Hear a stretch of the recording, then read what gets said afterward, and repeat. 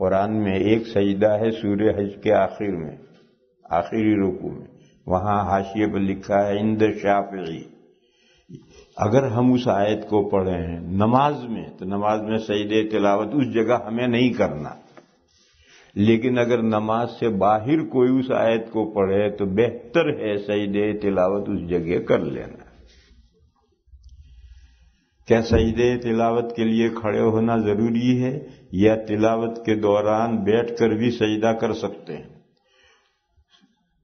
सजदे तिलावत करने के लिए खड़े होकर, खड़े से सजदे में आना ये मुस्तहब है, ज़रूरी नहीं है।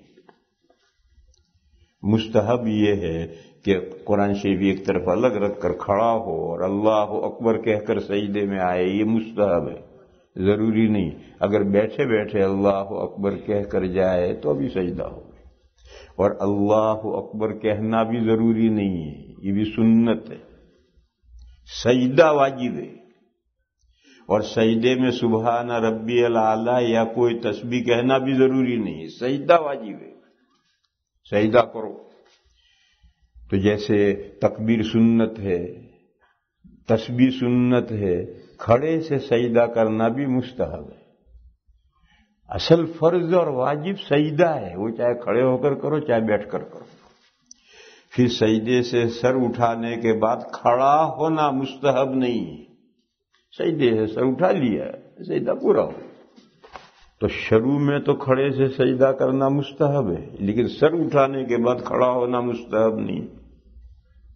बस अगर कोई बैठकर करना चाहे, बैठकर करे, कोई फ़र्क नहीं पड़ता। आखिरत में नेक मर्दों के लिए अल्लाह पाक का हूरों का वादा है। इस सिलसिले में अल्लाह पाक का नेक औरतों के बारे में क्या इरशाद है? अल्लाह ताला का इरशाद, दो इरशाद है। एक है, हूरुम मकसूरातुन फिल खयाम। हूरें घरों में, खीमों में खीमों में, यानी घरों में रुकी हुई होंगी, वो घरों से निकल करके सैर सपाटे नहीं किया करेंगे। एक तो हूरों के बारे में इर्शाद है कि हूरें रुकी हुई होंगी तो अगर एक हुर को दस मर्द मिले हैं तो एक घर में कैसे रुकी हुई होगी? सोचने की बात है, अगर फ़र्ज़ करो, जैसे मर्द को सत्तर हुरे मिलेंगी तो अगर दुनिया की औरत को सत्तर मर्द मिलेंगी तो वो घर में रुकी हुई कैसे होगी? तो हर हर शोहर के यहाँ उसे जाना है। मालूम हुआ कि औरतों के लिए शोहर ज़्यादा नहीं होंगे, वो एक ही की होंगी, और उसके घर में रुकी हुई होंगी। दूसरा इर्शाद अल्लाह का पाक है कि औरतें, चाहे दुनिया की औरतें हों या जन्नत की हूरें हों मकनून होंगी, छुपा कर रखा हुआ मोती होंगी। किसी के पास हीरा होता है, मोती होता है, वो अपने घर में कितने बक्सों के अंदर रखता है, चोर डाकू नज़र न पड़ जाए, चोर डाकू की। तो बीवियाँ जन्नत में चाहे दुनिया की औरतें हों, चाहे जन्नत की हूरें हों, वो छुपाया हो, छुपा कर रखा हुआ मोती होगा।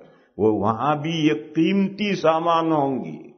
ये तो दुनिया में बेवकूफ़ लोग हैं जो औरतों को सड़क पर ले आते हैं और डाकुओं को मौका देते हैं कि वो उस हीरे पर नज़रें डाले। ये तो बेवकूफ़ लोगों का तरीका है। जन्नत जो गुनाह की जगह नहीं है जन्नत जो गुनाह की जगह नहीं है, वहाँ भी औरतें छुपाया हुआ मोती होंगी। हिफाजत से रखा हुआ घर में मोती होंगे। मोती दस आदमियों में मुश्तरक नहीं होता, वो एक ही का होता है।